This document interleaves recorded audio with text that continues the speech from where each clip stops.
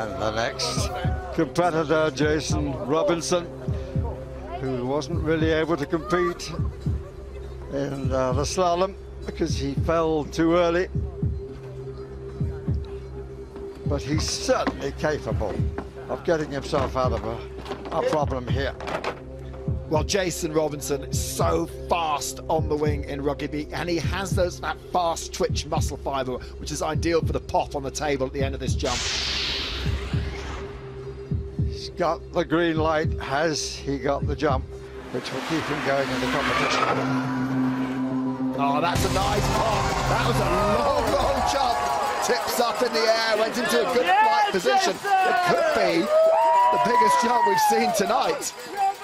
That's the way to answer the poor performance in the parallel slalom. A good flight on the jump. He's going to be safe with that, surely. Brilliant jump.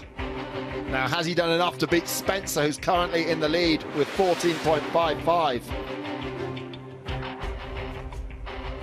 The, the, relief on your face when you landed that jump. Oh, definitely. It was very, very shaky as well, but I thought, if, if I don't land this, I've absolutely had it. It was a really nice jump. You did a little spring there. Uh, well, I'm not sure about spring, but uh, I don't like heights as well, so I was trying to avoid the jump at all costs. And after I fluffed it on the first uh, the yeah, first turn, I just it's, thought it's nice it's to do a good jump. So listen, let's have a look. Was it good enough? So Mark Dolan uh, did a jump of 10.45 metres, but have you done enough to stay in the game? Let's have a look. Jason, what did you jump? 14.95 metres! Still in the game. Oh, get in there! Still in the game. So, Mark, you are in the danger zone, I am afraid.